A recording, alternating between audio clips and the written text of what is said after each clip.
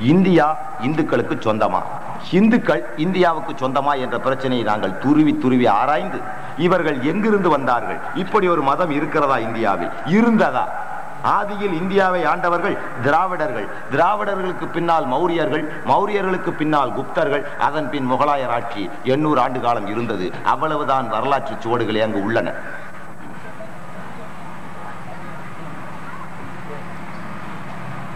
இந்துக்கள் இந்தியாவுக்கு சொந்தக்காரர்களா? இல்லை.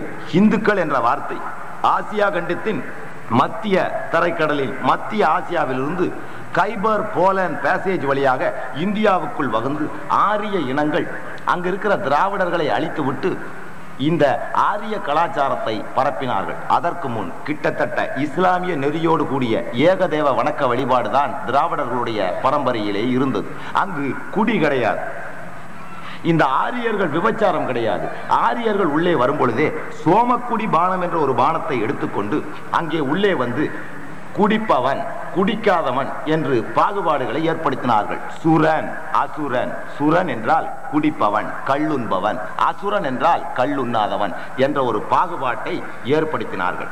பின்னர் நாளடைவில் ராஜாக்களிடம் சென்று சாஸ்திர வேத இதிகாசங்களை புகுத்தி மெது மெதுவாக தமிழனின் திராவிடனின் அழகான பாரம்பரியத்தை அழித்து விட்டார்கள். நாங்கள் எல்லாம் ஒரு காலத்தில் சுமார் இரண்டாயிரம் ஆண்டுகளுக்கு முன் திராவிடர்களாக இருந்தவர்கள். இந்த இந்து மதத்தின் வேதா வேதங்களை கண்டபின் எங்களை எல்லாம் அவர்கள் குத்திய முத்திரையை கண்டபின் எங்கள் முன்னோர்கள் சிறந்த ஒரு மார்க்கம் தேவை என்று ஆயிரத்தி நா- இருநூறு ஆண்டுகளுக்கு முன் முடிவு செய்தார்கள். அதன் பலன் வியாபாரத்திற்கு வந்த அரபு மக்களிடம் அவர்களுடைய மத கலாச்சாரங்களை எல்லாம் கண்டு அவற்றில் சமத்துவமும் சகோதரத்துவமும் இருக்கிற ஒரு மார்க்கத்தை தேர்ந்தெடுக்க வேண்டும் என்ற எண்ணத்தோடு இஸ்லாமிய மார்க்கத்தை அரபு தேசத்திலிருந்து நாங்கள் இறக்குமதி செய்து கொண்டோமே தவிர நாங்கள் இன்னும் பிறப்பால் இந்தியர்கள் இனத்தால் திராவிடர்கள் மதத்தால் முஸ்லிம்கள் மொழியால் தமிழர்கள் என்ற ஒரு கோட்பாடின் கீழ் வாழ்ந்து வருகிறோம். ஆனால் அந்த மண்ணின் சொந்தக்காரர்கள் நாங்கள். நாங்களே அரபியர்கள் அல்ல. அந்த மண்ணுக்கு சொந்தக்காரர்கள்.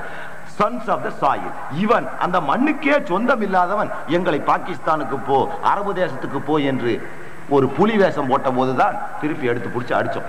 யாரடா போக சொல்ற? ஏன்டா போக சொல்ற? நாங்க இந்த மண்ணுக்கு சொந்தக்காரர்கள். உங்களை மாதிரி இன்னொரு தேசம் வந்தவன் இல்ல நாங்க இஸ்லாத்தை ஏத்துக்குவோ இப்படி ஏத்துக்குவோ அது எங்களுடைய சொந்த உரிமை. நீ யாரா கேட்கறதுன்னு திருப்பி பிடிச்சோம். அடிச்ச உடனேதான் பல நிகழ்ச்சிகள் ஒத்து வந்துச்சு. நாங்க குனிஞ்சு குனிஞ்சு குனிஞ்சு குனிஞ்சு ஒவ்வொரு பள்ளிவாசல்லையாக கொண்டு வந்து புத்த வச்சுக்கிட்டே இருந்தாங்க அப்புறம் தான் நிமிர்ந்து அடிக்க ஆரம்பிச்ச உடனேதான் எங்களுக்கு வீரமும் விவேகமும் பிறந்தது. என்றுமே என்னுடைய அனுபவத்தை சொல்லுகிறேன். நடைமுறைப்படுத்தப்பட்ட நவீன உலகத்தில் நீங்கள் வாழும் பொழுது உங்கள் மார்க்கத்தை விட்டுவிட்டீர்கள் என்றால் நிச்சயம் உங்களுக்கு அழிவுதான். மார்க்க உணர்வில் யாரையும் இழந்து விடுங்கள். You can you must lose everything for your religion but you should not rule your religion for any அதுதான் ஒரு பாலிசியா எடுத்தோம். அப்படியே ஒரு டீம் வளர்த்தோம். வளர்த்தி வளர்த்தி ஒவ்வொரு துறையிலும் புகுந்து எங்களுடைய உரிமைகளை தட்டி கேட்டோம். அந்த மண்ணுக்கு சொந்தக்காரர்கள் என்ற முறையில் தட்டி கேட்டோம். தட்டி கேட்டபோது அவர்கள் எங்களை எதிர்க்க முடியாமல் பெருமானார் சல்லா அலி அவர்கள் மீது களங்கங்களை எல்லாம் கற்பித்தார்கள். கண்ட புனைச்சுருட்டுக்களை எல்லாம் கிறிஸ்துவர்களிடமிருந்து கற்றுக்கொண்டு வந்து அவர்கள் ஐரோப்பா முழுவதும் எழுதி வைத்த புனைச்சுருட்டுக்கள். அவற்றை எல்லாம் எடுத்துக்கொண்டு வந்து உள்ளூரிலே பிரிண்ட் அடித்து அவர்கள் விநியோகம் செய்ய ஆரம்பித்தார்கள். அதன் பின்னால் தான் நாங்கள் அவர்களுடைய மார்க்கத்தையும் மதத்தையும் படித்து அதில் உள்ள அனாச்சாரங்கள் அசிங்கங்களை எடுத்து வெளிப்படுத்தினோம். வெளிப்படுத்ததின் விளைவு எண்பதாம் ஆண்டிலிருந்து பதினெட்டு சதவிகிதம் இருந்த நாங்கள் கிட்டு கிட்டத்தட்ட இந்த ஏழு ஆண்டுகளில் இரண்டு சதவிகிதம் பேர் கூடியிருக்கிறார்கள்.